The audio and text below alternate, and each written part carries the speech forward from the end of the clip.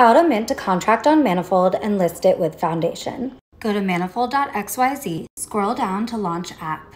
I've already deployed my contracts. I'm going to do a one of one today, so I'm going to click on ERC 721.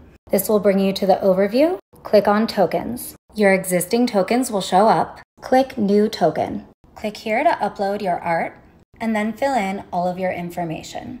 Once you're happy with your art and all of the text, which I forgot to proofread, mint to Rinkeby. You'll get the option to choose recipient. I'm not doing an airdrop, so I select myself. Pick the number of editions, I'm doing one, and then hit mint.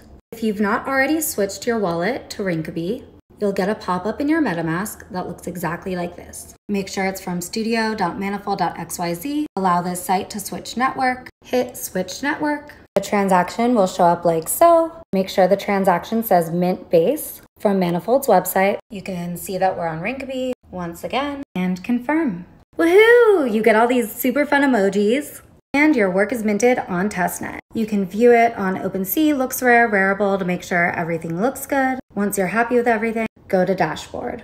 You'll come back to the page with all of your tokens, find the one you just minted on testnet, and click on it. You'll have the option to either update on Rinkeby or mint to mainnet.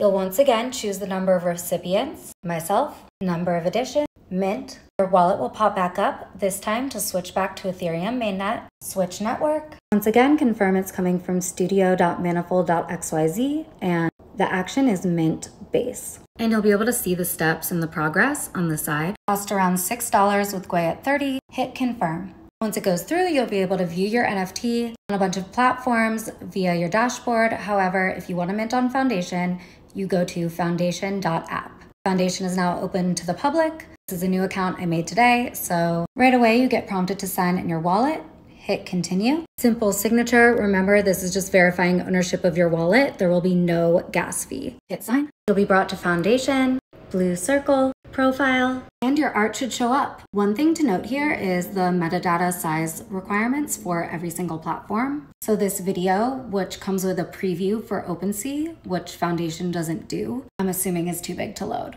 More on that in the next video. Edit profile, add your info, save. To your profile and click the art you want to list. Pick your listing option. I'm doing an auction, I hit list. You get this pop-up to approve the marketplace contract. This is the contract that runs the auction. Hit approve. Make sure this is from foundation.app because it is set approval for all. You can see it's a total of 125. Confirm. I wanted to do a zero reserve. Must be at least 0.05. List your NFT. Foundation.app. Create reserve auction. Confirm. Wait. Congrats!